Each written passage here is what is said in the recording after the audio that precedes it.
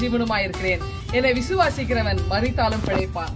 யோவான் பதினோராம் அதிகாரம் இருபத்தி ஐந்தாவது வசனம். ஒரு முறை அமெரிக்க நாட்டுல உள்நாட்டு போர் நடந்துச்சுங்க. இதுல வந்து மக்கள் வந்து அதிகமாவே பாதிக்கப்பட்டாங்க. குண்டடிப்பட்டு ரொம்ப வந்து அவங்களுடைய கை காலெல்லாம் இழந்து போய் அவங்களுடைய உயிருக்கு போராடுற நிலைமை வந்துச்சு அவங்கள கொண்டு போய் ஹாஸ்பிட்டல்ல சேர்த்தாங்க. ஹாஸ்பிட்டல்ல சேர்க்கும்போது ஒரு மனிதர் வந்து பிழைக்கவே மாட்டார் அப்படின்ற ஒரு முடிவை வந்து அவர் தெரிஞ்சுக்கிறாரு. டாக்டர்ஸும் சொல்லிட்டாங்க. சாரி சார் உங்களை காப்பாற்ற முடியாது அப்படின்னு சொல்லிட்டார். உடனே அந்த மனிதர் என்ன பண்ணார்? சரி நான் செத்த பிறகு நான் என்னோட நிலைமை என்ன ஆகும் அப்படின்னு யோசிச்சுட்டு பக்கத்துல இருக்கிற பைபிள் எடுத்து வேக வேகமா வாசிக்கிறார்.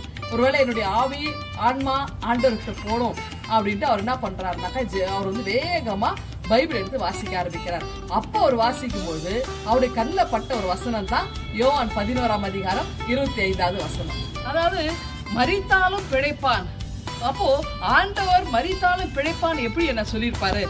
அப்படின்னு அவருக்கு ஒரு பெரிய தேடல் இருந்துச்சு அப்பதான் ஆண்டவராக இயேசு கிறிஸ்து நமக்காக மறித்து உயிர் தெரிந்தார் இல்லையா? அவரை விசுவாசிக்கிறவங்களுக்கு இந்த மரணமே இல்லை. அப்ப அதாவது இந்த உடல் ரீதியான அழிவு இருந்தாலும் ஆனால் நித்திய ஜீவனை பெற்றுக்கொள்ள முடியும். அவர்களுடைய ஆன்மா பிழைக்கும். அவர்கள் வாழ்வு பெறுவாங்க. நான் எப்படி உயிர் தெழுந்திருக்கணும் நானே ஜீவனாக வாழ்வாக இருக்கிறேன். என்னை விசுவாசிக்கிறவர்கள் மறித்தா கூட அவங்க பிழைக்க முடியும் அப்படின்ற ஒரு நிச்சயத்தை ஆண்டவர் கொடுத்தத அந்த மனிதர் அதை வந்து பார்க்கறாரு. அதை வந்து படிக்கிறாரு.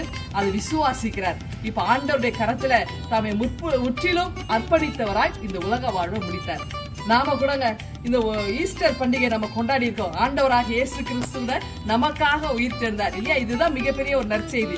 இந்த உயிர் தெழுந்த ஆண்டவரை யாரெல்லாம் விசுவாசிக்கிறார்களோ அவங்களுக்கெல்லாம் மறித்தாலும் வாழ்வு பெறுவாங்க நித்திய ஜீவனை பெற்றுக்கொள்வாங்க. இந்த நம்பிக்கையோடு இந்த சந்தோஷத்தோடு இந்த நாளை நீங்கள் துவங்குங்கள். ஆண்டவர்களை ஆசீர்வதிப்பாராக.